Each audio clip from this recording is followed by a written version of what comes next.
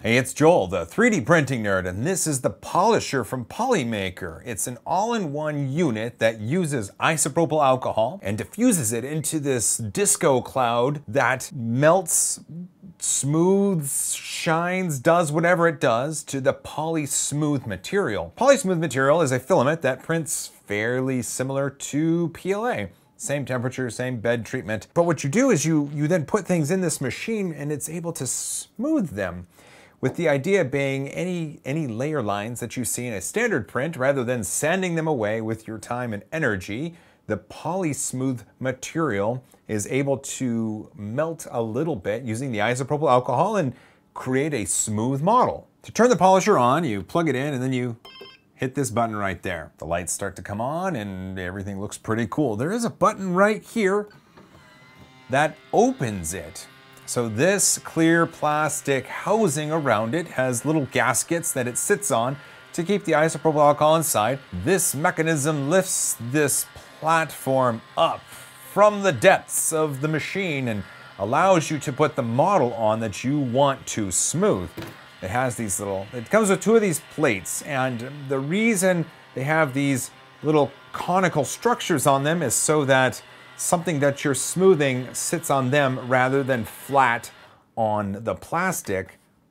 Plus, it's removable so you can take it out and let something sit while you put the other thing in. So it's got, see, it's got two of these. So you could actually smooth something and let it sit. And then once this is done, you can switch and swap and move it around and smooth everything you can ever dream of. The Polysher will accept anything that fits from here to here. And this, this low poly Flowalistik model of Donkey Kong does fit. The issue though is you have to bring it in like this to get it in. If you want to take it out, once it's done smoothing, it's, it's liquid, it's isopropyl alcohol, so the outside is wet and you don't want to touch it. So to get it out, you then have to be kind of creative with how you get a model out this way without touching it. For smaller models, such as a rocket, you can put it in just fine. Once it's done, you can lift it out and there, there's no issue there. That part works just fine. So what I had done is unboxed this live on my YouTube channel. I ran into an issue where it was wetting the bed. It turns out what I was doing was incorrect. So I took, I took this and I was dipping this in isopropyl alcohol. And when you add it to the back, there's a there's an infuser, there's a diffuser. It's a diffuser. And I was priming it. I was only supposed to put in a couple drops, but I think I emptied, you know, more than I should have into it, then that overflowed and went out the bottom of the machine. So now what's interesting, they don't actually recommend you prime it. You don't, they don't recommend you putting the drops in. I still do because I've been doing it that way and it seems to work just fine. But they said if you fill the reservoir to the line with isopropyl alcohol and you count to 60, it should be just fine. First, you may be asking yourself, well, of all these models, why do you have all these green flowers in front of you? That's a good question. So this flower right here, this Lego flower, I love this thing. I love this model. This is an example of the model printed with Polysmooth material and nothing else. It had some wispy hairs just from settings on the machine, and I used a heat gun for a couple seconds just to contract the wispy hairs, but other than that, this exists as it is to show you a control of the Polysmooth material. This one is similar to that one, but what I've done here is left the wisps in place and I'm to put this in the Polysher to see how well it's able to handle this model and the wisps themselves. This, I wanted to find out how well the Polysher would handle a sanded model. And I know it's supposed to smooth things, but depending on the size of your layer lines, it could still provide you an irregular smooth surface. So what I did is I used some 220 grit sandpaper and I smoothed everything I could to hopefully give the Polysher a head start. I just want to see what's going to happen. I don't, I don't know what's going to happen. I've yet to polish anything that's been sanded. So that's why this is here. Finally, what I'm going to do is take the models that I have smoothed of these flowers and I'm going to take them down to the garage and I'm going to prime one, I'm going to, and I'm going to prime, uh, paint one, and then I'm going to prime and paint one just to see what happens. I want to see how well poly-smoothed material is able to take paint. Well, looks like we do need to start smoothing these models, so let's put them in the Polysher. Uh, let's see, like, like this. Maybe like, oh, they, oh, I don't think they'll both go in at the same time. It's good to know. So this one, this is the this is the Lego flower right here. Go down into the machine, and we're gonna smooth it. This dial on the front of the machine controls the machine itself. When you turn the dial, it does light up. Each light on the dial represents five minutes of polishing. Mm-hmm. Mm-hmm. Mm-hmm. There we go. It's down in there. I'm gonna turn it to four lights. That'll give me 20 minutes. So one, two, three, four. It beeps. You see the light come on right here. You see the isopropyl alcohol mist start to fill the chamber. And that's just gonna run. All right, I'm gonna let this run for 20 minutes. I've got my GoPro and you're gonna see a time lapse. So if you're ready, uh, time lapse. All right, it looks like it's done. 20 minutes went by. Let's open it up.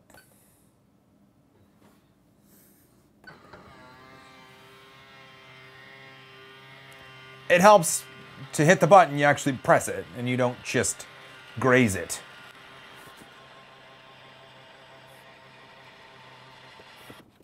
I helped. So here it is. Uh, there's a little bit of fluid on there, just uh, the, the isopropyl alcohol. Uh, what I will do is get a paper towel and I'll set it on that. So there we go. This is it, polished. I'll set it down right here. Now what we can do is, is take this platter and put the sanded flower on it. We'll let this go for 20 minutes. Um, also, I misspoke. Originally, I thought I was gonna use these as comparisons for holding paints and primers, but uh, it's best to let the isopropyl alcohol itself finish what it's doing and let it sit out, and I won't have the time to wait for that. So instead, what we're gonna do is we're going to test primer and paint on low poly Donkey Kong and on the Adelinda uh, Dragon by Loubie 3D. Yeah, these are gonna be my primer and paint test subjects. In fact, well, let me just start this and then we'll go paint these.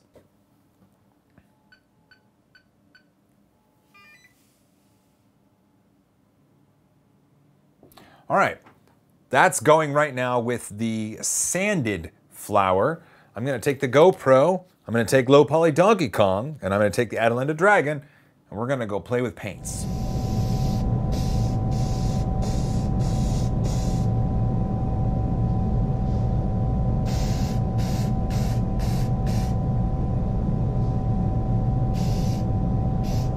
While Donkey Kong and Adelinda Dragon are down in the garage playing with paints, this finished. Let's get it out.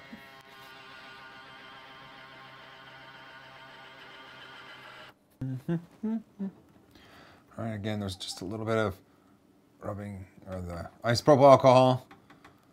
Dab that off a bit. Put it on the paper towel. Right, uh, right out of the gate, I can see that sanding has had a positive effect. Wow, that's freaking smooth. So here we've got the control, here we've got the non-sanded, and this is the sanded. So um, first let's take a look at the non-sanded. And, and you can tell that the smoothing process did accentuate some of the layer inconsistencies. The petals and the flowers them, themselves, they look good. Let's take a look at the sanded piece. The sanded piece is really interesting. The sanding process has added to the Polysmooth's ability to be smoothed. In fact, looking at the stems of the flower it's smooth. It is super duper smooth. Wow, that's that's really cool. All right, well, it looks like we've learned that sanding a Polysmooth print prior to putting it in the Polysher is actually beneficial to the smoothness overall. Um, let's go check in with Donkey Kong and Adelinda. All right, these actually turned out really awesome. I'm quite impressed. So there's Adelinda right there. Still, the paint's a little bit tacky because it hasn't had that much time to dry, but it, it does show me uh, something very cool. Here's Donkey Kong. Uh, let's first take a look at Donkey Kong. Donkey Kong had some primer. It looks like primer can be applied to the smoothed model without any sanding needed whatsoever. That's pretty cool. Uh, so for Adelinda, obviously this was just paint on top of the plastic. It would need multiple coats, but you, you get a chance to see how the paint uh, spreads and on the parts that are smoothed, it's glorious. It looks so incredibly cool. In fact, I, I, may continue to paint this Adelinda just because it would look really cool in this red. Very shiny, very, very cool. All right, so let's finish this up. Where does this leave us? We know that the Polysher works. We know that the Polysmooth material is able to be smoothed with isopropyl alcohol. This machine facilitates that process by producing an isopropyl alcohol cloud of mystery around a rotating model, and then the knob itself selects the amount of time to expose the model to that cloud of isopropyl alcohol. It works. It works incredibly well, and it does exactly what it's supposed to do. The smally, the the smally, the Polysmooth material itself prints like a PLA. That's not an issue. The Polysher is able to smooth the material, but uh, you do see some inconsistencies in layers on the Donkey Kong. You do see some inconsistencies in the layering on the non-sanded flower. And those are issues that I don't think are inherent to the, the material itself, but more so the configuration of the printer using the polysmooth material itself. I bet with some calibration and dialing in and further, we wouldn't experience something like this, but we do, and I wanna make sure that's seen. Sanding the model is awesome and produces incredible results. So we've, we've got our control piece, we've not sanded, we've sanded, we've primed, we've painted. Well, the conclusion to me is this is a neat machine. And originally when I got this machine, I hadn't really done much print finishing, so I didn't think this was for me. I thought it was neat, I thought it was good for some people, but I didn't think this would be for me. Now that I see the effects of finishing a model and putting it in here to smooth, or possibly smoothing it and then taking it out to be able to prime it or paint it, I could see a properly calibrated printer producing models that once smoothed would save me hours in sanding and priming and painting and sanding and sanding and sanding. You do need a properly calibrated printer and you do need uh, the ability to produce uh, a print that can be smoothed properly. Sanding does help. It's just it's just isopropyl alcohol and it's a cloud of it. Could you do it yourself? Sure. You could apply the isopropyl alcohol to a model. You do run the risk of not applying it evenly. That's just something I guess we can test over time. But for now, this machine at 299 US dollars isn't for everyone, but for the people that can use it, they will greatly benefit from it. All right, you know, this is available at Amazon now, so I'll put a link down in the description. Of course, it's an affiliate link, so if you buy it, from my link, I'll get a couple Scooby snacks. The Polysmooth material itself as well is available at Amazon, and I can, uh, I'll put a link down there as well. Uh, finally, I did want to address this. I had seen some uh, issues from Kickstarter backers who had not received their units yet. I did see uh, on the Kickstarter for this, uh, Polymaker left a comment detailing some of the issues with the remaining backers that haven't been fulfilled and they, they detailed where they're at in that process. Um, if you're a backer and you haven't gotten yours yet, I, I really hope it gets to you soon. I find it to be neat. I don't have any answers. If you have any questions about the Kickstarter campaign or those units, you will have to follow up with Polymaker directly. All right, let's call it good. Hey, you know what? Smoothing is fun. This is a neat idea. Uh, it's not for everybody. It's just kind of cool. I hope you get the chance to use this or see one of these models in person because the the poly smoothed material, once smooth, has a feeling like no other. It's just crazy. Thanks for watching. Don't forget to subscribe and ring that bell. A big thanks to my patrons who support me, and a big thanks to everybody who lets the ads play. Finally, don't forget to hug each other more because I love you guys. As always, high five.